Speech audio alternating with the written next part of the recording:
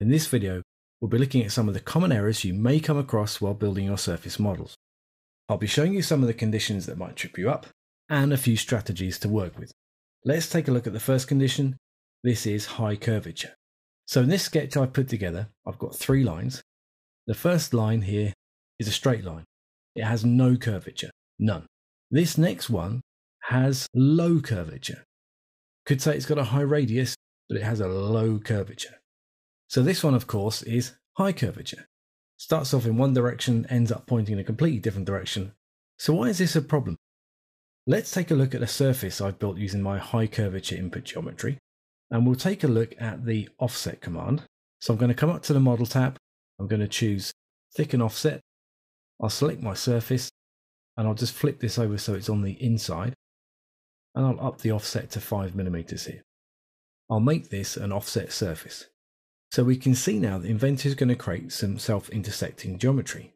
Let's see what happens. We'll choose OK. And in this case, we may not have got the result that we expected, but Inventor has built a surface for us, which is great. So in this situation, high curvature isn't too much of a problem. But when could it be a problem? I'm going to go back using Ctrl Z. Now let's try using high curvature in a sweep operation. I'll pull down some geometry I've already prepared, and I'll start the sweep command using sweep. This is my path. This is my profile. I'll make a surface option. This is my profile. This is my path. And I'll choose OK. Now this time, Inventor hasn't managed to create this surface. Now the tip here is to look at the red text.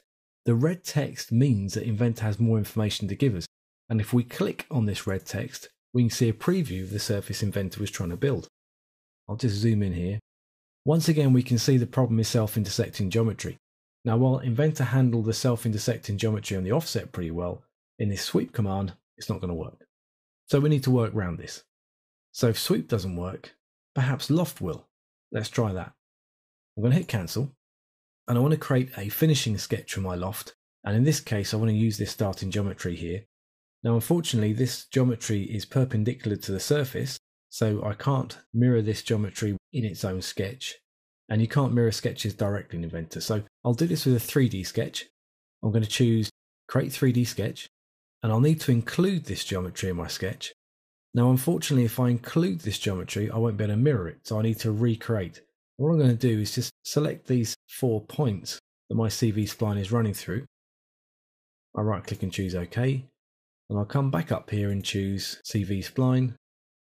I'm just going to create a new CV spline directly over the top of this one. All right, click and choose create.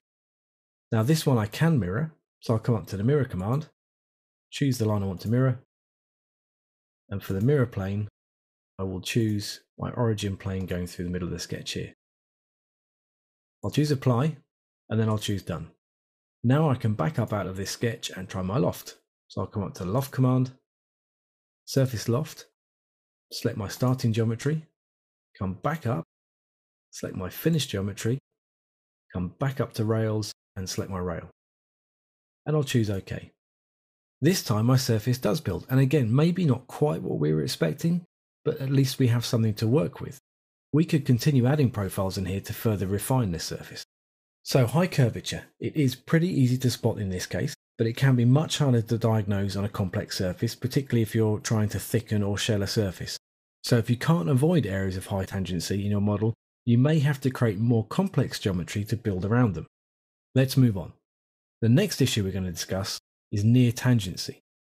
Let me just go to this saved view and I'll pull down some geometry I created earlier. So I have three surfaces here, all of which contain two faces and an adjoining edge. This first surface is definitely tangent. That's nice and smooth and we can't see any problem with that at all. This surface is definitely not tangent.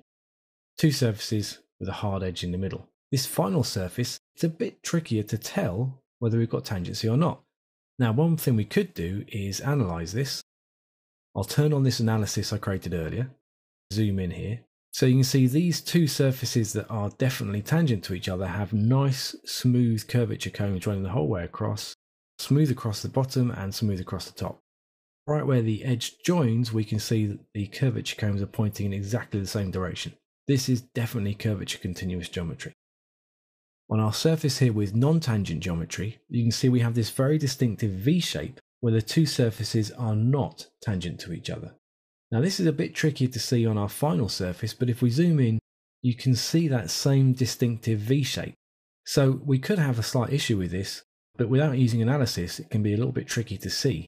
Now there is a quick way I can show you to analyze these. I'll just turn this off. Okay, so let me just select this edge right in the middle here. When I left click on this edge, you can see it's just an edge. I don't have any other options. There's no other options to choose from. If I select this edge, as you would expect from a highly creased edge, we have the option to fillet it or chamfer it. Now, if we select on an edge between two surfaces and get that same option, we know these two surfaces are not tangent to one another. So that's just a little quick tip to quickly analyze a surface that's causing you a problem if you've got a near tangent condition. So why is near tangency a problem? Well, let's just pull down some more geometry I have ready here. So I have three solids I've built here because it's just a little bit easier to demonstrate using solids in this case. And I have, again, two faces which are definitely tangent to each other, two faces which are definitely not tangent to one another, and finally two faces here which are close to tangent but not quite tangent to each other. Now I'm going to do a shell command with these, so I'll come up here and choose shell, and I'm going to choose the same two faces in each case. So I'm going to select this main face and this one here, just going to turn off face chaining. So this face and this one here, this face and this one here. And I'm going to choose OK. Now you can see here that we've got a very nice perpendicular offset to this face. That's worked really well. And in this face, we've got a chamfer running the whole way down. That's what we expected. But in the last face, you can see here we've kind of not got what we expected. This face underneath is perfectly flat. This face at the top is chamfered. And maybe that's not what we wanted to happen. Well, the reason that's happened is because Inventor uses a slightly different algorithm for calculating faces that have tangency and calculating faces that don't have tangency. So in this case, Inventor used the opposite algorithm from the one we were expecting, and that's why we didn't get the result we were after. So the message is try and avoid near tangency, and if you're having problems, do that quick check to see if near tangency could be your issue. Okay, let's move on to our next issue. This one is sliver faces. Again, I've got a preset up view here, and I'll just pull down this geometry. Okay, so here I have a sliver face. Now, you probably won't see this unless I zoom right in. There's our sliver face right there. So let's move on to our next issue, and this one is sliver faces. So sliver faces are tiny, tiny faces that you may accidentally build into your surface model, or more likely will crop up as a result of importing geometry into Inventor that was created using a different modeling kernel.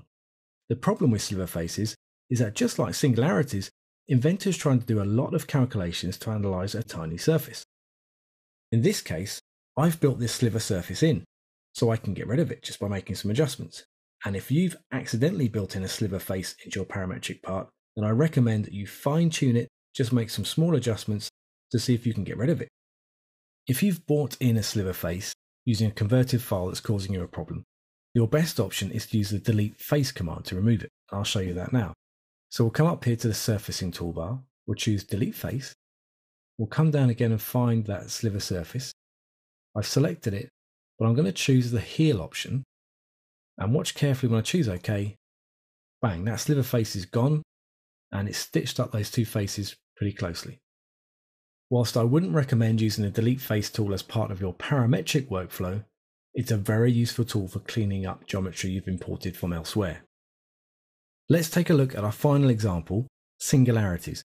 Now we've mentioned this before, it's at the root of most of the problems you'll have with surface modelling, and it's the situation we are most keen to avoid. Let me just pull down the last geometry which I have for us here. Inventor uses a NURBS based modelling system. Now essentially this means that the mesh that Inventor calculates is based on a four sided patch. So, NURBS based modelers don't do three sided faces very well. In fact, they can struggle with any face that has an odd number of sides. To demonstrate this, I'm going to build a loft using the geometry we have here. So I'll come up to my loft command. I'm going to choose the surface option. I'll start with this profile here, come back up, choose click to add, hover here until Inventor asks me to choose. I'm going to choose the point And then finally for rails, I'll click once more and click on the rail I want to use. Okay, that looks like a pretty clean surface, but to show you the issue I've got, I'm going to turn on this analysis. I'll right click here and choose analysis visibility. Now this curvature cone analysis is showing us roughly what the isoparms are doing on our surface mesh. So the isoparms are the UV grid that denotes our four-sided mesh. And as you can see at one end of our loft, we have, let's see, one, two, three, four, five, six isoparms, creating six divisions. And those six divisions run all the way through till we get to the far end where they come to a point. Now, this is known as surface degradation. All that geometry is trying to happen in essentially a finite point, a zero point. This is called a singularity, and it's what we're keen to avoid. Let me show you why that's a problem. Let me just right click here and turn this analysis off. And I'm going to try and extend this face. So I'll come up here to the surface command, drop down, choose extend, and I'll select this edge and I'll choose OK. Now you can see the Inventor cannot extend this edge and the reason it can't extend it is because it can't calculate the geometry in that singularity. So I'll hit cancel here. What we've learned is it's quite important not to build in singularities if you want to continue using your surface in a workflow. Let's look at another way of creating this surface, this time using the patch command. So let me just come down here. I'm going to right click and choose delete. I'll keep those sketches, thank you. And I'll come up here this time to my patch command and I'll select the geometry we want to use for our patch. That's our patch created, very good. Now that seemed pretty easy. And the patch command does work slightly differently to a loft. The patch command will create a four-sided NURBS-based mesh, which it will then trim back to the input geometry we've given it. But let's take another look at the analysis. Okay, so this time we can see their isoparms are in there. They're nice and square and regular. We don't have any issues there until we get to these corners. Now we do have some slightly weird things going on there, not what we expect to see at all. So what we found out is that surface patches are pretty quick and easy, but in fact they do have their own inherent problems. Surface patches aren't too good at surfaces that are curved in both directions. So one last strategy which I highly recommend. Let's just turn this off again. We'll delete our patch. Once again, we'll keep the sketches and I will just turn these two sketches off and let's take a look at the input geometry we had. Okay, so underneath this I have a surface I built from a single sweep and it's a path in that direction and a profile in this direction and we have some geometry here which is the shape we're trying to create. Now what we're going to do here, essentially we've overbuilt this surface and this is the strategy. Overbuilding surfaces and then trimming them back manually. Similar to what the patch does but with more control. So the surface is much bigger than we need. We have our cut geometry and we'll come up here to the trim option. We'll select this geometry and then we'll select what we want to get rid of. And we'll choose OK. So we've created the same surface again, similar to one we created with Loft, similar to one we created with Patch, but let's have a look at the analysis for this one. So I'll turn the analysis on. I'll just edit this and ask it to analyze that surface. Now you can see here we've really got the best of both worlds. We have a nice rectangular isoparms. We have good curvature, good smooth curvature, nice acceleration, but we have no degradation, no singularity at all, which is perfect. So we can do whatever we like with this surface now. Let's go back and do that surface extend again. We can extend that face. It's not too big a deal. Inventor will deal with that quite happily. And worth bearing in mind if you're having trouble creating surfaces with odd numbers of sides.